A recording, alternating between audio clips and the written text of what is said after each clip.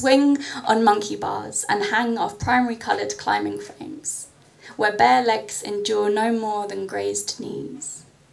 They try to tie me into a skirt suit, paint on glossy black tights, tell me to keep court heels in my bag and wear trainers for the commute.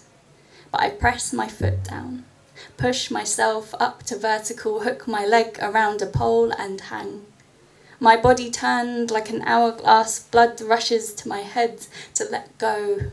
As I hold on, comes as easily as breathing in and out.